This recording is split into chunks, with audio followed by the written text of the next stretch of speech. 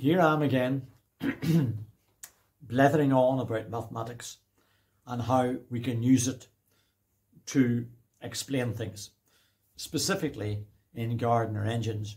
I'd like to take a look at the concepts of force, torque, power, energy. Let's take a look at force first of all. As I've tried to show you before, there's a force. My right hand finger is pushing with a force into the palm of my left hand. That's force. Really, really simple. Now, what's torque? Torque is just simply a rotating force. If I press the trigger on this drill, the force that I'm feeling there, the reluctance that I'm feeling there my left hand is the torque. The rotating drill is developing a torque due to the energy in the battery. Power then. What's power? Power is the rate of doing work. Now, the simplest way I can explain this to you is imagine a hill and you've got a load of stones at the bottom of the hill and you'd like to move the stones up to the top of the hill. Now, to move the stones up to the top of the hill, you need energy. And if we're going to use a, a, a, a tractor, say, with a Gardner engine in it, um, that energy comes from the engine and from the fuel that we burn in the engine. So we need a certain amount of energy to get the stones from the bottom of the hill to the top. We could wheel them up a wheelbarrow. We could carry them up each stone one by one by hand. But that'd be a very slow way of doing it. Power is a measure of how quickly we can do that job.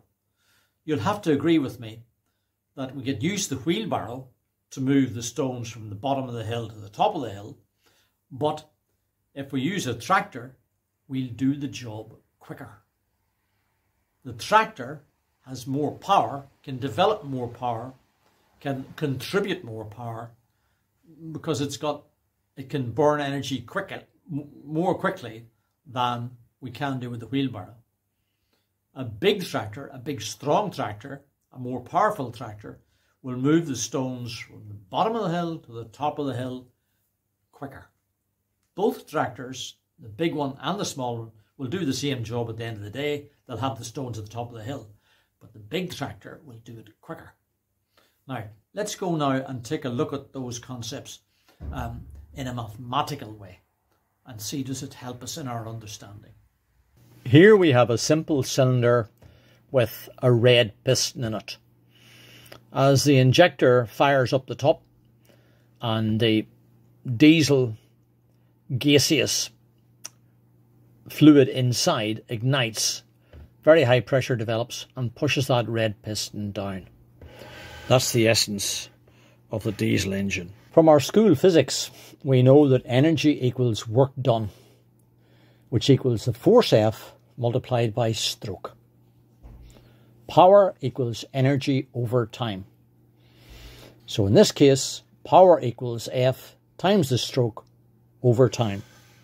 So already in our very early studies, we can see that an engine designer can choose to have a long stroke and a slow revving engine, or a short stroke and a high revving engine. And Gardner, in their wisdom, decided on the former. The Gardner engine has a long, typically 6 inch stroke and low RPM.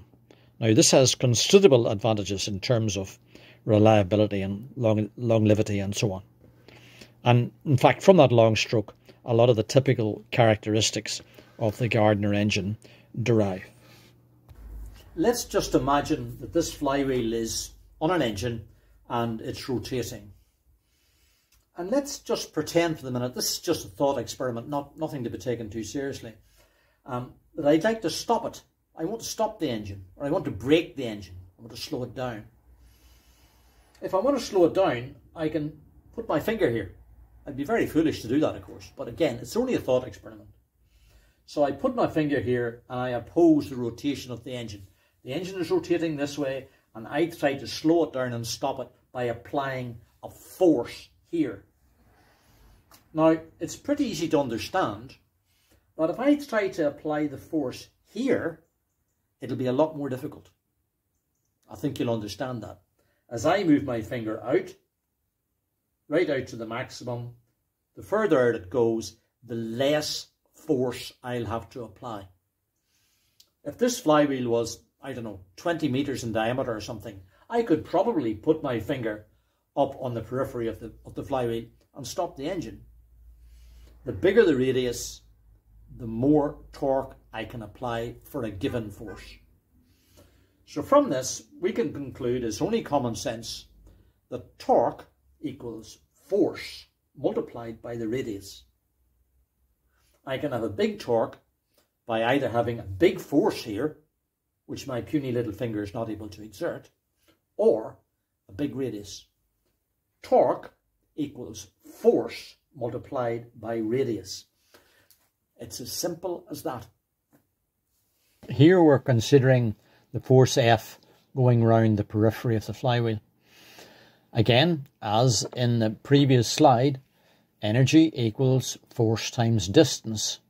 Distance here is the circumference of that circle. And you'll remember from school that the circumference of a circle is 2 pi r. So the energy equals F times 2 pi times r. It's as simple as that.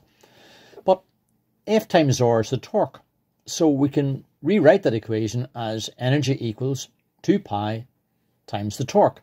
That's in 1 rev. Power then is energy over time. The time taken for 1 rev is of course related to the RPM. So we can see that power equals 2 pi times the torque times the RPM all over 60. We'll need the 60 there to, to uh, consider the power expended in one second rather than one minute. Let's consider then uh, Gardner 6LXB developing 160 horsepower at 1650 RPM. Now, one horsepower, each horsepower equals 746 watts. So the total power that we're going to get out of this engine here is 119.36 kilowatts. Power equals torque times omega. Now, omega is a new variable to you, and all it is is just the RPM measured in radians per second. Remember, radians are just the same as degrees. Again, they just help us to get our final result in the correct unit. So power equals torque times omega. The eventual formula then is 119360 equals torque multiplied by 2 pi multiplied by n, which is um, 1650, all over 60. If we work that all out, we get a torque of 1690 newton meters, which I think you'll find is kind of reasonably realistic. If you take that 690 and plug it back into the power formula, you'll come back out with in or about 160 brake horsepower. So it looks correct. Now, it'd be really nice if the graph of torque against RPM was a nice flat line. Um, but in practice, it's not. You can see from that purple line there that there's a bit of a dip in it at the start where the engine is only ticking over and at the end where the engine is going flat out. Um, there's a variety of theoretical reasons for this, got to do with the, the way the flame blows, uh, burns in the diesel fuel. And it's too much for me to explain that to you here now. So there is a slight curve on that purple line there. But as engines go, it's really pretty flat. The Gardner does really well on this score. The torque graph is really, really quite flat, which means the graph of power against RPM, as you can see there on the green line, is a straight line, more or less a straight line.